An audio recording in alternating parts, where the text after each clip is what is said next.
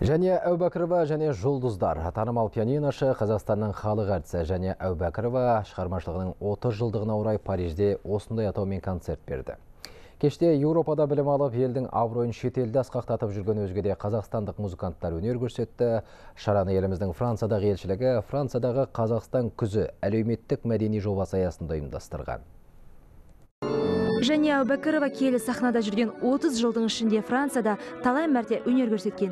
Бірақ Парижде концерт бермегеніне 5 жыл болды. Виртуозды музыканты көрге француздардың асыққаны сонша карто залында ине шаншар жер болмады. Талғамы биік көрерменге маэстрода ерекше бағдарлама ұсынды жыл сайын ай сайын күн сайын ізденіп жүремін. Жаңа бағдарламаны жаңа шығармаларды үйреніп. Мынау бағдарламаны жақсы көремін. Өйткені камералық музыка бірігіп. Мысалы мен былтыр жеке концерт қойдым.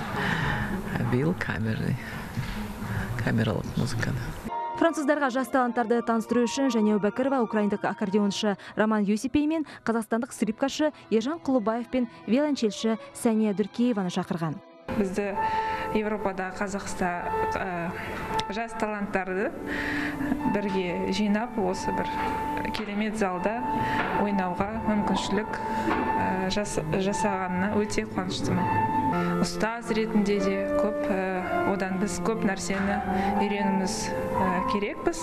Ұстаз бен шәкірттері бірігіп әлемдік классика алыптары бах шопен шнитке мен шуберттің ең күрделі туындыларын көпшілікке ұсынды.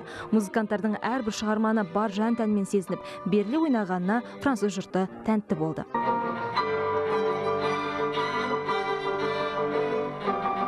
Француз тыңдарманы өте талғампаз. Бірақ сол талғампаз көрермен парижде бақтың хоралын ешқашан пианино мен аккордеонның бірігіп сүйемелдеуінде тыңдап көрмеп еді. Соған куә болды.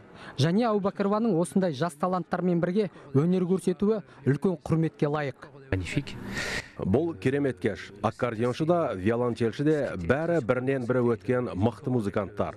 Себебі мұндай әлемге әйгілі шығармаларды бірнеше аспаппен ілесіп ойнау оңай емес. Музыканттар француз композиторлары равель мен франктың туындыларында құйқылжыта орындап көпшіліктің таңдайын қақтырды. Екі сағаттық концерттен рухани азық алған көрермен таланттарды қайта қайта биске шақырып қошеметті жаудырды. Және әубәкірова мен жұлдыздар концерті енді австрия германия мен польшада жалғасады. Бақыт топтаева франция хабар жиырма төрт.